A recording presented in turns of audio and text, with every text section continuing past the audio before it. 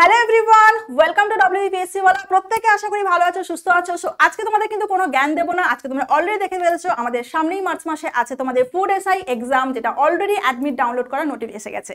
So আজকে তোমাদের থাকবে কিছু fifteen days strategy for food SI পরিশ্রম তো সবাই করছ। তুমি কি আলাদা করছ? যার জন্য তুমি এক্সাম ক্র্যাক করবে। ভয় লাগছে পরীক্ষা দেওয়ার আগে? ভয় তো থাকবেই। ভয় পেয়ে পালিয়ে গেলে তো সেটা তোমার হার হয়ে যাবে। তাহলে ভয়কে কাটিয়ে আমাদেরকে কিন্তু ক্র্যাক করতে হবে এবং আমাদের লক্ষ্যে স্থির থাকতে হবে। আজকে তোমাদের আমি কিন্তু কোনো পড়াশোনা নিয়ে জ্ঞান দেবো না। প্রচুর সারা বছর পড়িয়েছি। আজকে বলব না যে এই টপিক পড়ো, ওই টপিক পড়ো। এটা জাস্ট একটা সাইকোলজিক্যাল ভিডিও পরিশ্রম তোমার, কষ্ট তোমার। আমি এসছি তোমাদেরকে জাস্ট বুস্ট আপ করতে। সো চলো লেটস স্টার্ট ফার্স্ট স্লাইড তোমাদের জন্য কি রাখা আছে? তো দেখো, প্রথম তোমাদের স্ট্র্যাটেজি ওয়ান প্রথমেই বলে দিয়েছি, কোনো কিছু সাবজেক্ট নিয়ে আলোচনা হবে না। সো স্ট্র্যাটেজি ওয়ান কোশ্চেন কি আছে? ওয়াই ওকে কেন এক্সাম দেবে? কেন এক্সাম ক্র্যাক করবে? সো এই ওয়াইটাকে আগে ডিটারমাইন করো। সো রিজন কোনো কিছু হতে পারে রাইট কোনো সময় হয়তো তোমাকে কোনো টিচার বলেছিল, বা কেউ বলেছিল হয়তো, যে তোমার দ্বারা কিছু হবে না। বা তোমার রিলেটিভ কিরে, এর দ্বারা কিছু হবে না। বা তোমার কোনো সামন স্পেশাল পার্সন বা কোনো পার্টনারকে প্রুভ করার জন্য তোমাকে এই ওয়াই রিজনটা হচ্ছে, কোনো কিছু হতে পারে। তো রিজন কাউকে বলতে হবে না। নিজের মনের মধ্যে রাখো অ্যান্ড ক্লিয়ার ইউর ওয়াই চলো নেক্সট স্ট্র্যাটেজি দেখে নেওয়া যাক আমাদের। So next strategy clear your mind ma'am কি সব বলছেন? আমাদের মাথা অলরেডি ক্লিয়ার আছে। সো আজকে দেখে নেওয়া যাক। কি এর মধ্যে রেখেছি। So clear your mind so পাস্টকে please তোমরা রিলেট করো না। পাস্টের কোনো এক্সাম খারাপ হয়েছে এবং এখনকার এক্সামে সেটা কিন্তু প্লিজ এফেক্ট করো না। পাস্টে কোনো এক্সামে পার্সেন্টেজ কম পেয়েছ, তাহলে আমি পারব না। এই জিনিসটাকে জাস্ট অ্যাভয়েড করো। Please ignore past and please do not at past in your future so clear your mind and just set your mind that yes you can চলো strategy number three save time save time কীরকম তোমাদের একটু দেখে নেওয়া যাক। So তোমরা কি করছ? দশ এম রুটিন কি করছ? বারো পিএম এ রুটিন ঠিক করছ। সাপোজ ধরে নাও, তুমি ভাবছ, দশটার সময় আমি সায়েন্স গ্রুপ পড়ব। বারোটার সময় আমি ম্যাথ করব। দুটোর সময় আমি ধরো, তুমি ঠিক করেছ কি? না, জিকে সিয়ে পড়ব। সো এরকম দেখবে আমরা প্রত্যেকে নিজের নিজের রুটিন ঠিক করি। অ্যান্ড দুদিন, তিন দিন রুটিনটা ঠিক থাকে, তার কিছুদিন পর দেখবে আমরা জাস্ট এই রুটিনটাকে ঠিকঠাকভাবে কিন্তু অ্যাপ্লাই করতে পারি না। তখন আমাদের মনের মধ্যে কিন্তু প্রচুর নেগেটিভিটি চলে আসে, দূর, আমার দ্বারা হবে না, আমি কোনো কিছুই ঠিকঠাক করে করতে পারছি না। বা যখন তুমি অঙ্ক করছ, তখন আমার মন পড়ে আছে, আমাকে এই টাইমে আমাকে জিজ্ঞেসিয়ে ধরতে হবে। সো এরকম সবার সাথে হয়ে থাকে। সো সেভ করবে কি করে বা চলবে কি করে? এক্সাম কিন্তু একটা যুদ্ধ। এই যুদ্ধে জিততে গেলে তোমাকে করতে হবে কি? শিডিউল রাইট সো শিডিউল আসবে কিসের মাধ্যমে? টেকনিকের মাধ্যমে তোমার কিন্তু শিডিউল আসবে। কীভাবে টেকনিক সো এখানে রেশিও করবে বা রুল করবে ফিফটি আর ইস টু ফাইভ মানে ফিফটি মিনিটস তুমি করবে স্টাডি ফার্স্টে করবে fifty minute study and five minute করবে রেস্ট সো এই রেস্টে তুমি কি ভাবছ? মুভি দেখবে হোয়াটসঅ্যাপ করবে ফেসবুক করবে? না, এই রেস্টের মাধ্যমে তুমি চলাফেরা করবে ওয়াক করবে পুশ আপ করবে, ঠিক আছে? বা দৌড়বে রান করবে। কারণ তোমরা জানো বালিতে একটা কথা আছে, যত পুশ আপ করবে, যত ওয়াক করবে, যত তুমি হচ্ছে দৌড়বে, তত তোমার বডিতে ব্লাড সার্কুলেশন বাড়বে এবং ব্লাড সার্কুলেশন আলটিমেটলি আমাদের ব্রেনকে বুস্ট আপ করে এবং তোমার স্টাডিকে আরও বেশি হেল্প করবে। সো ফিফটি মিনিট ফার্স্টে ট্রাই করবে study dot fifty minute then five minute rest আবার ফিফটি মিনিট তাহলে ভাবছ ম্যাম ফিফটি মিনিট সারাদিনে পড়লে আমাদের পড়াশোনা হয়ে যাবে? না, এটাকে একটু একটু বাড়াতে হবে তোমাকে। সো ফার্স্ট দিন ফিফটি মিনিট পড়লে, তারপর ফিফটির সাথে ফাইভ যোগ করবে। আবার ফাইভ মিনিটস হলো। নেক্সট দিন আবার ফিফটি মিনিটের সাথে আরও ফাইভ যোগ করবে। এইভাবে দেখবে তোমার দেড় ঘণ্টা স্টাডি চলে আসবে। ঠিক আছে? সো দেড় ঘণ্টা স্টাডি ফাইভ মিনিট গ্যাপ দেড় ঘণ্টা স্টাডি ফাইভ মিনিট গ্যাপ এইভাবে করতে করতে দেখবে তোমার প্রত্যেক দিন একটু একটু করে বেড়ে যাবে এবং তোমার কিন্তু শিডিউল অ্যান্ড টেকনিক একসাথে হয়ে গেল।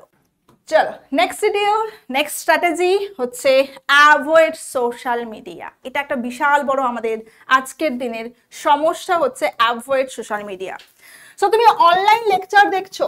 অনলাইন লেকচার দেখছ, হঠাৎ করে তোমার ফোনে নোটিফিকেশন ঢুকলো হোয়াটসঅ্যাপ বা ইনস্টাগ্রামে নোটিফিকেশন ঢুকলো, তখন তুমি সেই লেকচার থেকে বেরিয়ে গিয়ে তুমি একটু ইনস্টাগ্রামে রিলস দেখছ হোয়াটসঅ্যাপের ভিডিও দেখছ বা হচ্ছে ফেসবুকে ভিডিও দেখছ।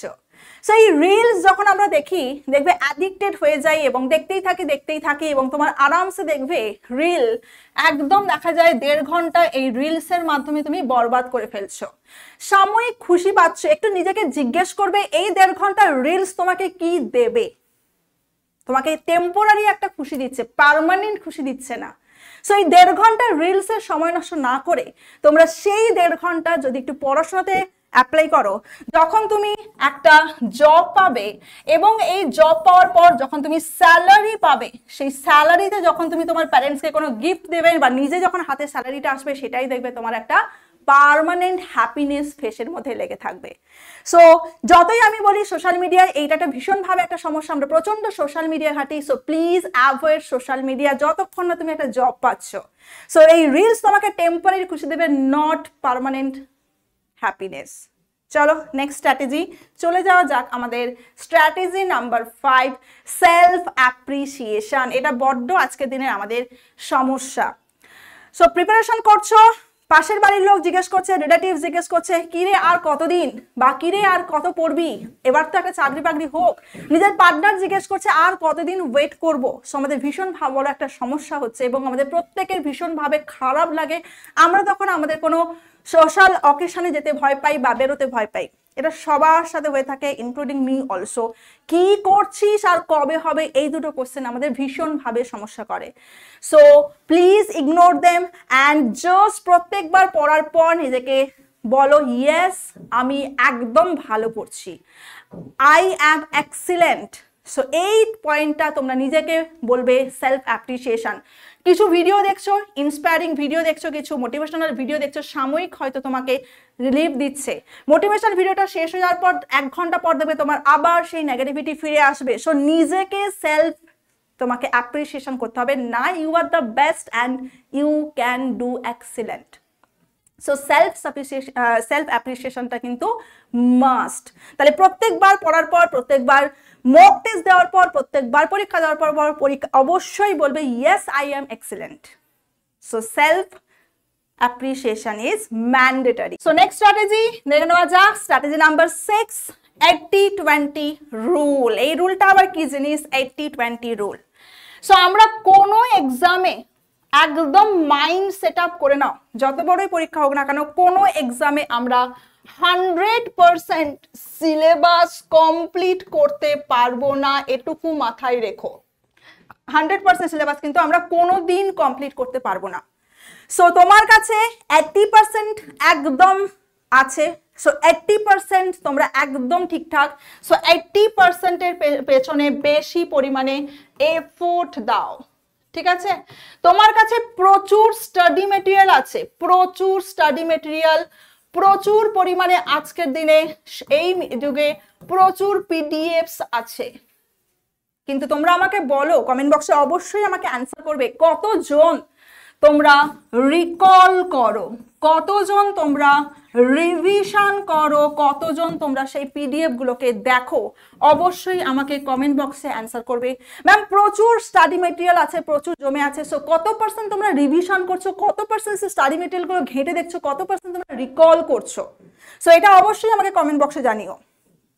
ওকে চলো, এবার যেটা বলছি, দেখে নাও। সো এইটি পার্সেন্ট তোমার হাতে আছে। সো রিভিশন রিভিশন মাস এবং ম্যাক্সিমাম স্টুডেন্ট তোমরা অবশ্যই আমাকে জানিও ম্যাক্সিমাম স্টুডেন্ট কি করো? তোমরা প্রচুর প্রচুর টিচার বায়োলজির প্রচুর টিচার হিস্ট্রির প্রচুর টিচার জিওগ্রাফির প্রচুর টিচার প্রচুর টিচারকে সিলেক্ট করো। প্লিজ তোমাদেরকে বলছি, একজন টিচার সিলেক্ট করো বা এভরি সাবজেক্টে ম্যাক্সিমাম দুজন টিচারকে সিলেক্ট করো এবং তাদেরকে ফলো করো। ওকে সো স্টপ তোমাদের select of multiple teacher so এটাতে সময় নষ্ট হচ্ছে, আজকের দিনের সময় প্রচুর অভাব। তাহলে কি বললাম? এইটটি তোমার হচ্ছে হাতের কাছে আছে এইটটি পার্সেন্ট তোমার কভার হয়েছে এইটটি পার্সেন্টকে বারবার রিভিশন করো টোয়েন্টি পার্সেন্টের পেছনে ছুটবে না। কেন কোনো এক্সামে তুমি হান্ড্রেড পার্সেন্ট কেউ, যত বড়ই টপার হোক না কেন, কেউ কিন্তু হান্ড্রেড পার্সেন্ট একদম কভার করে যায় না। সো এইটটি পার্সেন্টকে বারবার রিভিশন বারবার recall avoid multiple teacher maximum দুজন টিচার এই সাবজেক্টে সিলেক্ট করো এবং তাদেরকেই ফলো করো। তাতে তোমার টাইম সেভ হবে and revision recall must so চলে যাওয়া যাক আমাদের নেক্সট স্ট্র্যাটেজি নাম্বার সেভেন কি লেখা আছে দেখো? ভীষণ important follow principle on yours not other people or not other toppers ঠিক আছে? অবশ্যই টপারকে দেখে ইন্সপায়ার্ড হবে। অবশ্যই টপারকে দেখে ইন্সপায়ার্ড হবে বাট নট ফলো কারণ প্রত্যেকের আলাদা আলাদা হচ্ছে রুলস আছে। টপার দশ ঘণ্টা পড়েছে মানে তোমারও দশ ঘণ্টা পড়লে হবে সেটা নয়, তোমার হয়তো আঠেরো ঘণ্টা পড়লে হবে, তোমার হয়তো বাইশ ঘণ্টা পড়লে হবে, তোমার হয়তো ছ ঘণ্টা পড়লে হবে। ওকে? কারণ প্রত্যেকের আলাদা আলাদা আলাদা আলাদা দেখবে তোমার হচ্ছে মেন্টালিটি এবং প্রত্যেকের ইন্টেলিজেন্ট এবং প্রত্যেকের হচ্ছে আলাদা আলাদা রুলস সো অবশ্যই তাদেরকে দেখে ইন্সপায়ার্ড হও। বাট টপার এই করেছে আদার পিপল এই করেছে, আমাকে এটা পড়তেই হবে, আমাকে এই বই পড়তেই হবে। Stop to avoid this okay so just নিজেকে এ করো, নিজের উপর ভরসা রাখো ইউ ক্যান ডু নিজের প্রিন্সিপাল ফলো করো বাট স্টপ টু আদার হচ্ছে people okay so please comment বক্সে জানিও তোমরা যে কারা কারা এই ফিফটিন ডেজ স্ট্র্যাটেজি ফলো করছ, কারণ আমাদের সামনেই তোমাদের মার্চ মাসে আছে ফুড এসআই এক্সাম এবং অবশ্যই তোমরা কমেন্ট বক্সে জানিয়ে যে কতটা উপকার পেলে, না পেলে। প্রত্যেককে best of luck love you all from WPSC বলো। আমরা প্রত্যেকে তোমার সাথে আছি। জাস্ট বুস্ট আপ করো। You are excellent and you are absolutely correct so please go for the fifteen days strategy and নিজেকে বুস্ট আপ করো। সেলফ অ্যাপ্রিসিয়েশন ইজ ম্যান্ডেটারি তোমরা নিজেরা অবশ্যই পারবে জাস্ট হচ্ছে বুস্ট আপ করো। প্রত্যেকটা অ্যান্ড রিভিশন মাস্ট সো আজকের মতো টাটা বাবাই কেমন লাগল, না লাগল অবশ্যই জানিও অ্যান্ড বেস্ট অফ লাক সবাইকে।